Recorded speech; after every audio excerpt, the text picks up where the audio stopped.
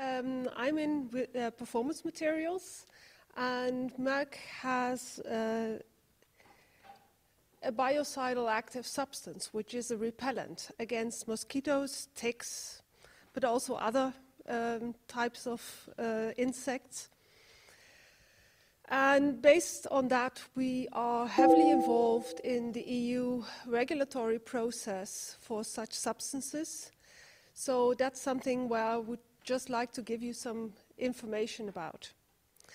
So just a short, a few words of introduction. Repellents are recommended for personal protection against biting insects, and we all know, we have been discussing this all day, uh, they are often vectors for diseases. Personal repellents should be applied to skin directly on body parts which are not covered by uh, clothing. If there is no other protection possible, such as mosquito nettings, which is, of course, a very important uh, uh, protection method. If we're talking about repellents, it's all about efficacy test performance. Um, we all want to know how long does a repellent last, how long will I be protected from bites. So um, we try to define protection times, but they vary a lot. And there are multiple factors as to why they vary. So it can be the formulation type and the technology, it can be the users themselves, it can be the season, uh, the substance concentration in the product, of course, plays a role, but double concentration doesn't necessarily mean double efficacy. Different target organisms all react differently to alternative formulations, and there are a lot of differences in test setups. You can do tests in the lab, you can do semi-field, you can do field trials. So last but not uh, least, there are also very differences in how authorities evaluate protection times. So now about the EU and the regulatory framework. So we have the active substance IR 3535, that's the brand name, and uh, it's regarded as a biocide, and that means that the biocidal products regulation applies. And in fact, repellents are classified within this regulation as product type 19, which is called repellents and attractants. And as such, these active substances undergo an evaluation procedure and after that has been completed, then also the products have to go through an authorization procedure. This all lasts extremely long, so at least five years. And basically for IR 3535, we submitted the active substance dossier already in 2006. And we are still now in the product authorization process. So we have submitted product applications for one reason. We do not produce these products ourselves, but we have customers, and they uh, produce these products, but they cannot deal with all the regulatory aspects which play a role in the EU. So we decided to do the work for them and help them get their authorizations. But what we learned now is that there are still a number of uncertainties. There are still heavy debates between the authorities in the EU, and there's definitely no consensus uh, between the member states on how to evaluate repellents for personal protection when it comes to application rates. Why is there a lack of consensus? It's all about defining what is the safe but effective dose. How much do I need to apply to be protected? There was one problem because uh, at the active substance level, when all the member states are basically looking at and evaluating a substance, there is no real evaluation of efficacy. So at that point, when also other repellent actives were under evaluation, a discussion on efficacy was basically only very minor. Proof of principle suffices for that. At the product authorization stage, of course, we need to demonstrate the efficacy. And this holds true not only for our active, it also holds true for other actives like DEET and icaridin, for example. But the guidance for doing efficacy studies is at the moment in the EU definitely not sufficiently precise. So every lab is doing tests in a slightly different way. Every authority is asking for something different, and every authority is also evaluating the results in a slightly different way. Generally, if you talk about laboratory testing, uh, the application rates are quite high because in that case you also have a very high biting pressure and basically you are testing in a worst case scenario. This is not always relevant for the repellents we use on everyday basis. Then there is the other part, guidance on human health risk assessment, which also is part of the evaluation process, is also done in a very conservative way. Basically, they are also trying to do a worst case assessment on that end.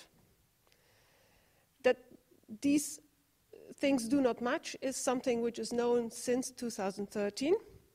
And unfortunately, we find ourselves in the situation that there is still no solution. So, repellents should be safe, but they should also be available on the market in order to protect us. So for the efficacy testing, there would be a way forward is to reduce the application rate to a realistic value in the tests. But if we do this in a worst case test setup, then we come to very short protection times.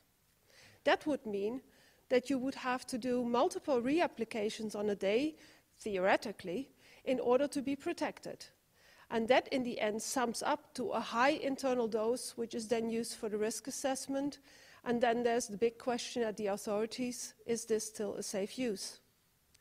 On the other hand, you can do the risk assessment um, by using a very high application rate, which means that you automatically come to a high internal dose for the risk assessment.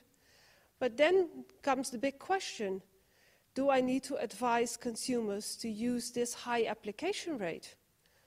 And then tell them not to reapply a product on a, single day.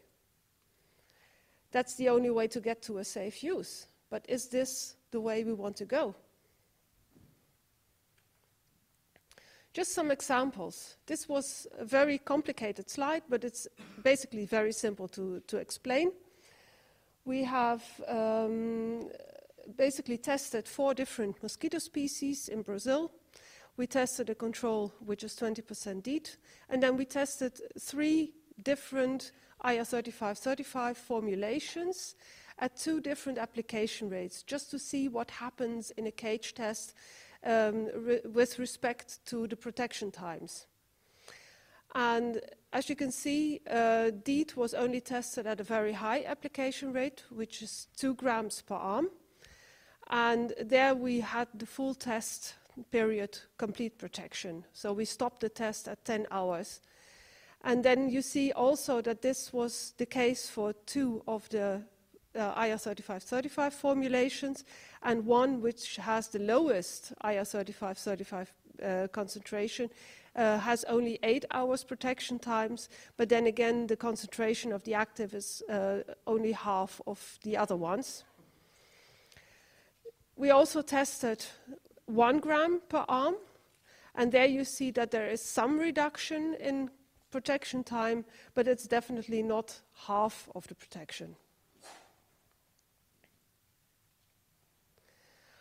We did a similar situation with another laboratory test, which is against ticks. And basically, in that case, you use volunteers and you draw some marks on their arms, you treat part of the arm, and then you just place the ticks one after the other on the arm and see if they crawl up the arm. That's the normal behavior. And if the, uh, the tick then senses the treated area, it either drops off or returns. And that's basically the sign of repellence. So we did this with relatively high application. Normally, it's even done with even higher application rates. And there you see that there is a complete repellence, but there is some difference in how the ticks behave. If you then go down with the uh, concentration or with the application rate, then you also see this in the test. So the, the ticks start behaving slightly different, even though there is still complete repellence. One last point I think is important to mention because these processes, these regulatory processes, are so immensely expensive. There is basically no new development ongoing on new substances which might be alternative to existing repellent substances. And also, um, uh, many companies just give up putting these products on the market. It's not only an EU problem because um, also in other regu uh, regulatory uh, frameworks all over the world, we find ourselves in, in similar situations.